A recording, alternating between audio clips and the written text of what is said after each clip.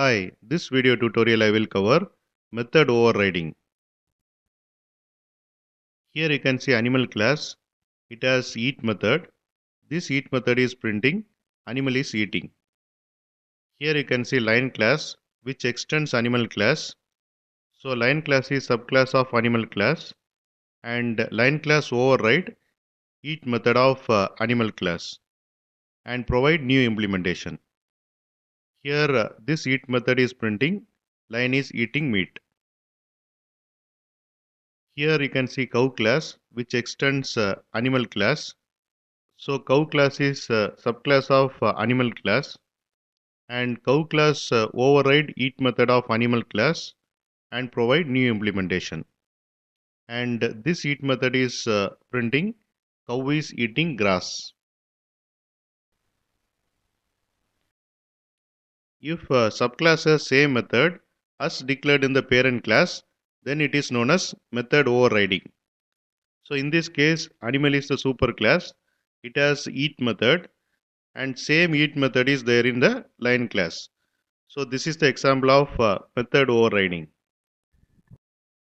In other words, if subclass provides the specific implementation of the method that has been provided by one of its uh, parent class, then also it is known as uh, method overriding.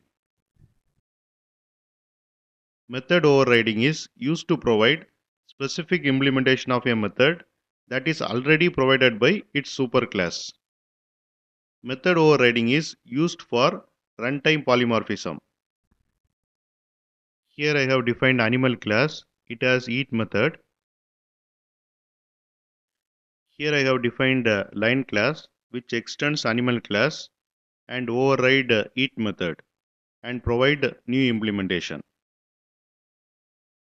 Here I have defined a cow class which extends animal class and override eat method and provide new implementation.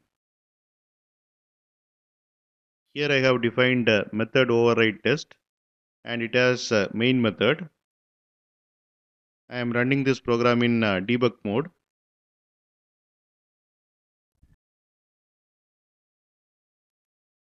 Here uh, animal reference points to lion object.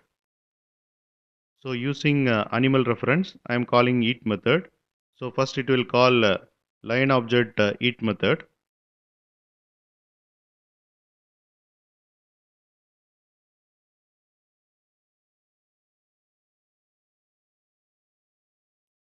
Now animal reference points to cow object. So here using animal reference, I am calling uh, eat method. So now animal reference points to cow object. So it will call uh, cow object uh, eat method.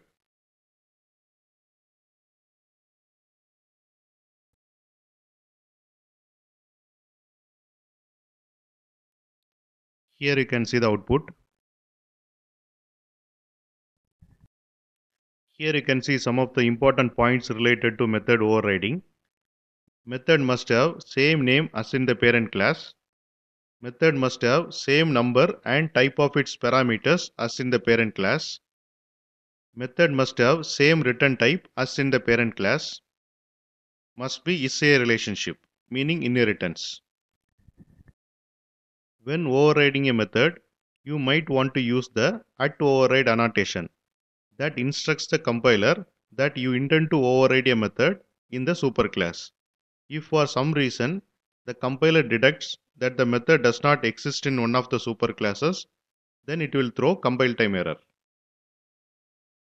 And this is about uh, method overriding and thanks for watching.